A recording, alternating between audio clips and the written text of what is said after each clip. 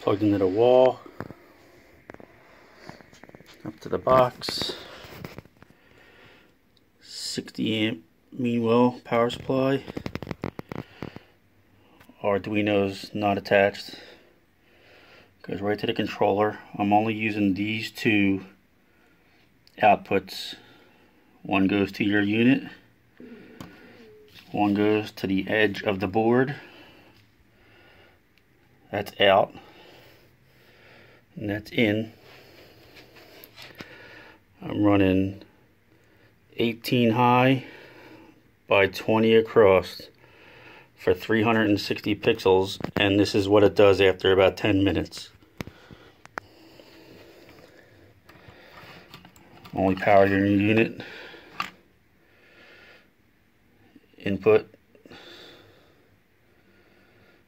Output. Around to this connection right here.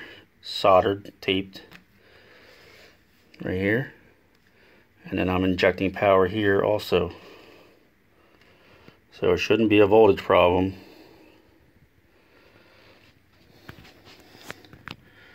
There's the specs on the Meanwell I'm not sure what to do with it. it keeps doing it no matter what. And if I unplug this for 10-15 minutes it'll be fine for another 10 minutes. And then it goes to this again